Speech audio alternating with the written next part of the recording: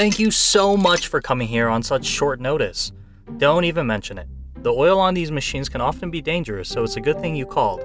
Once we get this mill up and running, we can use the milled grain to start making our own very own Samsung branded noodles. From there, maybe we can even scale the business to I I don't know, dried fish and and fruit or whatever. Yeah.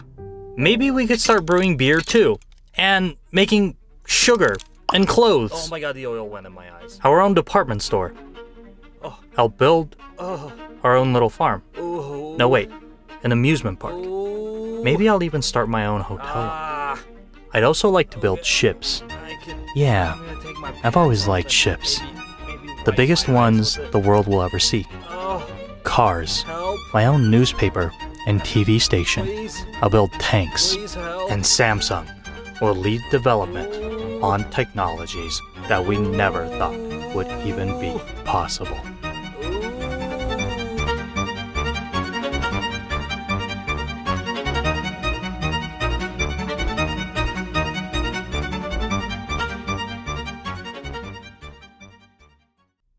Our tale begins in the Kingdom of Korea, months before the Japanese occupation of the country. Born on the 12th of February in 1910, Lee Byung-chul was born in the small town of Uiryanggun in the South Gyeongsang province. He was born in a small... Uh, wait, no, that's his home right there.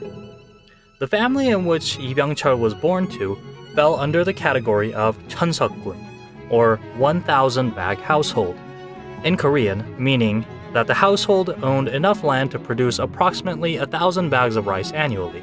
Taking into consideration that the average bag of rice weighing about 160 kilograms, or 362 pounds, was valued at around 14 won, approximately $123 today, this could mean that the household that Lee Byung-chul was born into could have made anywhere from $123,000 to 1.23 million US dollars annually, a nearly unfathomable amount of money back then. Being born into a very affluent family, Lee Byung-chul received personalized academic training. Despite being a bit slow of a learner initially, his grades started to improve with age, and eventually even went on to go to middle school in the capital. And at the age of 17, Lee Byung-chul would marry his wife Park Do-ul as a part of an arranged marriage, who was three years older than him. Throughout his teens, Lee Byung-chul would continue to do well in school, particularly excelling in the subject of math. And later, he would even be accepted into the very prestigious Waseda University in Tokyo. However, his stay at the university would be cut short, as he would drop out of the school, citing poor health as the primary reason.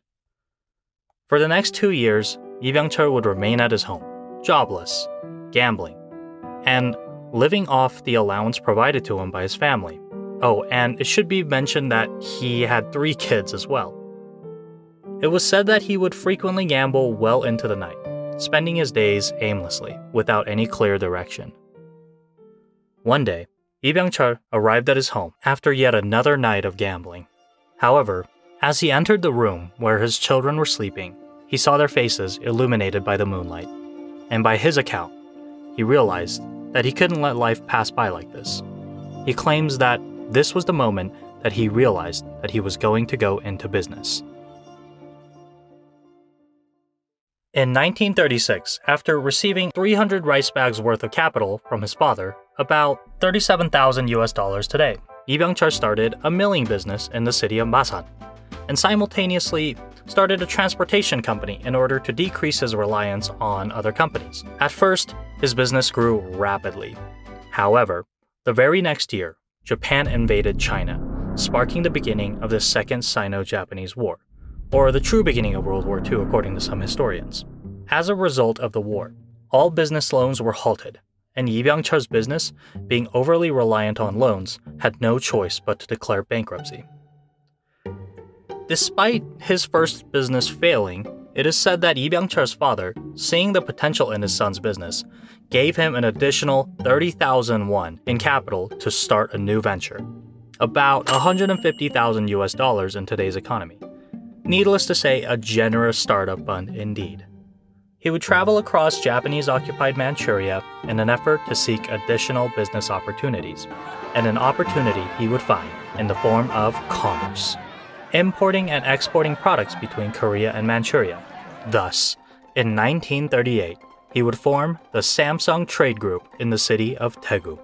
Sam meaning three, representing size and strength, a well favored number in Korea, and Sung meaning star, to represent eternal shining light.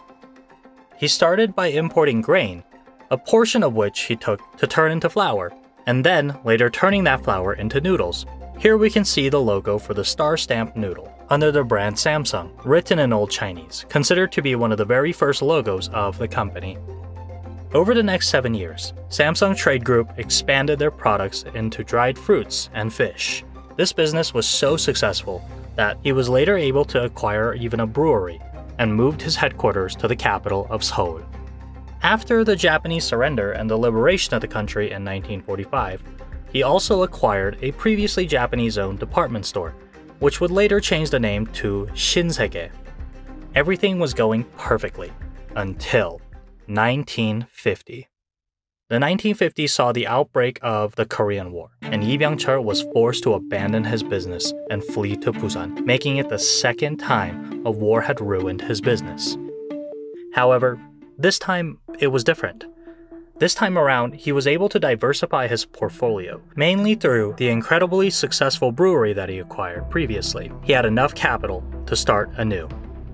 And in 1951, amidst the chaos of the Korean War, he created the Samsung Commerce and Trading Group in the city of Busan, or Samsung C&T for short.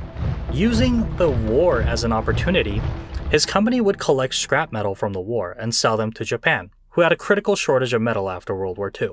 And by doing so, he made millions within the first two years of founding Samsung C&T. By diversifying his business, keeping a fortified cash reserve, and by continuing to identify areas of opportunity, Lee Byung-chul made nothing short of a miraculous comeback. Throughout his business ventures, he held a firm business philosophy, serving society through business. With the newfound success of his third company, he continued to expand the business in different ways and his next business venture would come in the form of a product that isn't generally associated when thinking of Samsung sugar. At the time, nearly all of the sugar in Korea was imported, so it was really expensive and largely inaccessible to the public. Lee Byung-chul thought that Koreans should have more affordable access to sugar, so in 1953, he founded Cheil Jedang, or CJ for short, the first ever sugar manufacturer in the country. Using the fortune he amassed from Samsung C&T, he built the largest possible sugar factory he could, one capable of producing 25 tons a day. This brand of sugar, known as Beksul, sold for a third of the price of other imported sugars, dominating the domestic sugar market in Korea. You can actually still find this brand of sugar today. More on CJ later. In addition to sugar, Lee Byung-chul saw opportunity in the textile and clothing space. Suits were also among the exclusively imported items in Korea that costed a fortune. So, Lee Byung-chul would go on to found Cheil Industries to produce suits and clothes at an affordable price. His portfolio of businesses became more profitable year after year by the 1950s, having acquired insurance companies and even banks, all under the conglomerate named Samsung. Even though the nation had been destroyed by a recent civil war, Byung-chul's life was a stark contrast from the dystopian country that was the post-Korean War South Korea. However, neither the citizens of Korea or Byung-chul had reached their full potential, because it is now the 1960s Korea. 1961 saw the rise of South Korean president and later dictator Park Chung-hee come to power the man who would go on to transform South Korea into the country it is today. I made a video about him, so feel free to check it out. Despite the political turbulence of the country, Lee Byung-chul seemed only to care about the expansion of Samsung. And throughout the 1960s, he further expanded Samsung's portfolio of businesses.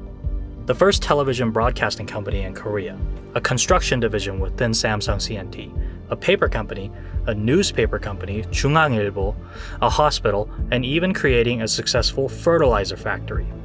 although his involvement in the fertilizer industry would get him into some unexpected trouble. Upon seizing power, one of Park Chung-hee's focuses was to industrialize agricultural food production. And in order to grow food, you need fertilizer, and lots of it. Park Chung-hee appointed none other than Lee Byung-chul to start construction of the country's largest fertilizer plant. Lee Byung-chul, busy with running Samsung, left his second son, Lee Chang-hee, in charge as the director of the fertilizer company to manage the day-to-day operations. Everything seemed to be going according to plan, until, out of sight from Lee Byung-chul, excess amounts of saccharin, an ingredient used to make fertilizers, was secretly smuggled into the country. This surplus of saccharin would later be sold for a profit, with politicians and businessmen alike pocketing the cash for themselves. The press managed to expose the smuggling incident, causing public outrage, with Park Chung-hee himself personally ordering an investigation into the matter. Lee Byung-chul, as the CEO of the company associated with the smuggling, was blasted by the public. His second son, Lee Chang-hee, as the director of the Korean fertilizer program, was sentenced to five years in prison. As for Lee Byung-chul, due to immense pressure from the public, he declared that he would step down from the company, placing his first son, Lee Maeng-hee, as the new CEO of Samsung.